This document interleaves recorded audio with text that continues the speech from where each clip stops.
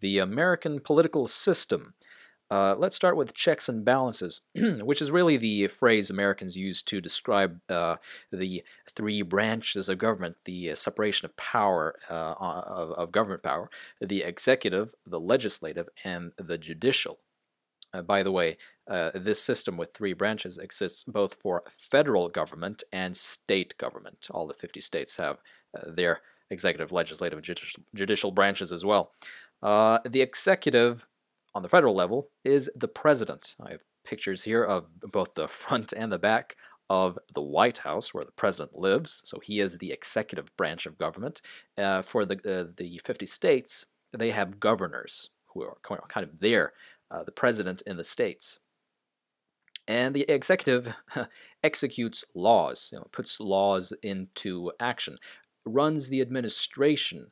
Uh, the administration is what we call it. So Barack Obama uh, his administration is called the Obama administration, and they run the country uh, as the executive branch of government.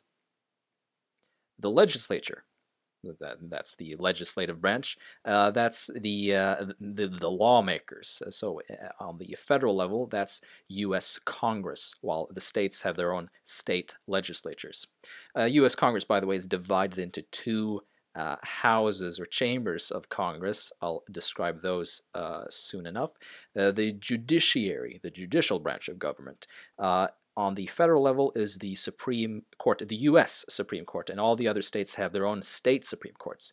Uh, this, of course, is the uh, the Supreme Court building, the U.S. Supreme Court building in Washington D.C., and it's nine justices, Supreme Court justices and the judiciary can challenge and uphold, uh, challenge or uphold, I should say, laws by interpreting the Constitution. They are sort of the final interpreters of the Constitution, the U.S. Supreme Court at least. Uh, the uh, U.S. Uh, Congress now, th this is the building. It's called the United States Capitol, but it houses U.S. Congress. Uh, and Congress is a bicameral legislature. That means it has two chambers or houses, uh, which are uh, the House of Representatives and the Senate, the U.S. House of Representatives and the U.S. Senate. Uh, and the difference is there are 435 representatives, usually just called congressmen, uh, in uh, the House of Representatives, and there are exactly 100 uh, senators. And the reasoning here is that a, se a senator, I should say, there are always two senators for each state. That's why it's exactly 100 senators now, while uh, representatives, or which, which, are called congressmen, uh, they represent congressional districts, which there are many of. And these lawmakers, they vote on legislation, either passing a bill, which is called enacting it, or a repealing existing laws. They can remove laws. Uh, a bill, uh, proposed law is rather what it is, is sent back and forth between the two chambers until it's passed by both by both houses. And then it's sent to the White House, I should say, because uh, the uh, president he is the one who has to sign the legislation to actually make it law. Uh, but he can choose to not sign it, and that means to veto it, right? And then it does not become law. But a two thirds majority in Congress can override a presidential veto. The U.S. Supreme Court is the highest court in the country and the final interpreter of constitutional law. And the nine Supreme Court justices who are appointed, uh, they are not, I should say, nominated by the president and confirmed by the Senate, and, and thusly uh, sit for life uh, until they retire or die in office, and uh, will be replaced by a new justice uh, nominated by the president and confirmed by the Senate. Uh, they determine whether a law is constitutional or not, is the simplest way of describing uh, uh, the uh, role of the Supreme Court. A little uh, something here about the U.S. Constitution and the U.S. Bill of Rights. these are the 10 original amendments to the Constitution, which are called the Bill of Rights. And, for instance, an amendment to the Constitution uh, can be created. It's not just these original 10, there, there are more than that, and there can be new ones, as long as they are passed by two thirds of Congress and ratified by the legislature of uh, three fourths of the states. Uh, the First Amendment, by the way, is the freedom of religion and speech and press and uh, assembly. The second is uh, the freedom to bear arms, uh, in other words, guns. And the eighth is uh, uh, an amendment against cruel and unusual punishment, which is interesting, uh, given that the United States, and many states in the United States, practice uh, capital punishment, the death penalty, even though that is kind of unusual in the West today. The Tenth Amendment uh, has to do with states' rights. It basically says that any duty or right or something not uh, ascribed or not given to the federal government in the Constitution uh, passes to uh, the state government as a state right.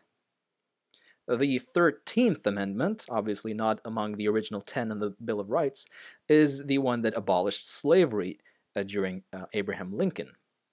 And the 18th uh, was the uh, was the prohibition of alcohol between 1920 and 1933. That's actually an example of an amendment that was later repealed, so it only existed between 20 and 33. And the 19th Amendment, that is the amendment that gave women the right to vote in America. A little bit about general elections here. Uh, quick uh, thing to remember: first Tuesday after after November second, uh, in uh, in every two years, there is an election, a general election in the United States. Congressional and presidential elections are held on the same day, and that's every four years. Presidential elections every four years. Uh, but in addition to that, there are midterms which are then two years later in between the presidential uh, elections, which are also congressional elections. So basically, congressional elections are every two years, and presidential elections every four years. But then the presidential and congressional elections are on the same day, and these are always in November. Um, senators represent the states, two for each, and they have six-year terms. Uh, while representatives or congressmen, they represent one congressional district each. And of course, then there are more congressional districts in very populous states because each congressional district is supposed to have about the same number of people in them. So there are, there are a few states which only have one congressional district for the entire state. Uh, about 700,000 people in each. These are all the congressional districts, colored so that you can tell them apart. Uh, the president is elected by electoral vote, not popular vote. Uh, what what that means is, uh, the it, in order to become president, you need to uh, sort of get a majority of all of these numbers together. In order to do that, you get a majority of the votes. Not even the majority, really, but but the plurality of the votes. Uh, you need to get more votes than the other guy in uh, one state, and then you get all of these numbers, and that's the electoral vote if you're very quick now, you'll understand that uh, these uh, these numbers, as you can tell, the more populous states have a larger number because these numbers correspond to the amount of congressmen plus the two senators. That's why the lowest number is three, which is states with they're so uh, have so few people they are have only one congressional district, and then of course they have two senators. There are 538 electoral votes between the 50 states, and you need 270 to win, and it's a first past the post system. You need to get a plurality. You, get you need to get more than the other guy in one uh, state each in order to get all the numbers there, all the electoral votes. And this, by the way, shows you uh, the uh, map. This is actually from the 2004 election. The blue is the Democratic candidate, John Kerry, who lost. Uh, the red was George W. Bush, who won in 2004. And you can tell uh, this uh, stretched map shows the more uh, electorally heavy uh, states as larger. Uh, thanks for watching, and my next video is on American party politics, so make sure you catch that one as well.